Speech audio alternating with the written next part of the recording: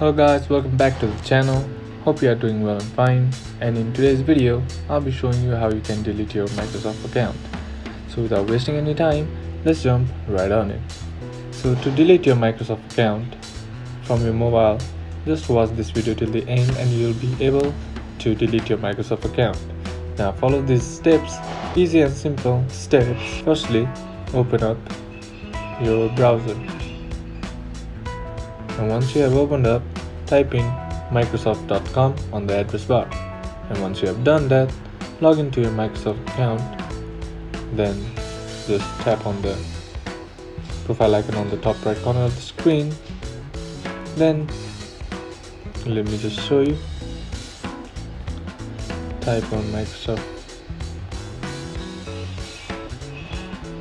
microsoft.com here tap on the profile icon on the top right corner of the screen and tap on once you have logged in tap on the profile icon and then just tap on my Microsoft account.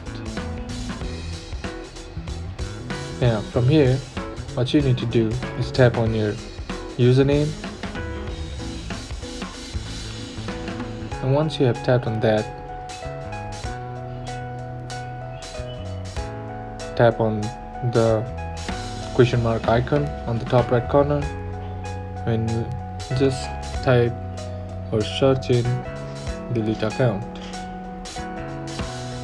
And once you have done that you'll get these options that says go to close your account. Just tap on close your account and it will take you or it will transfer you to the page. You'll be transferred to this page.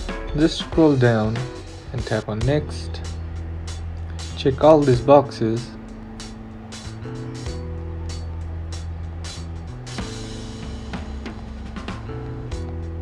And select a reason for why you are deleting your account.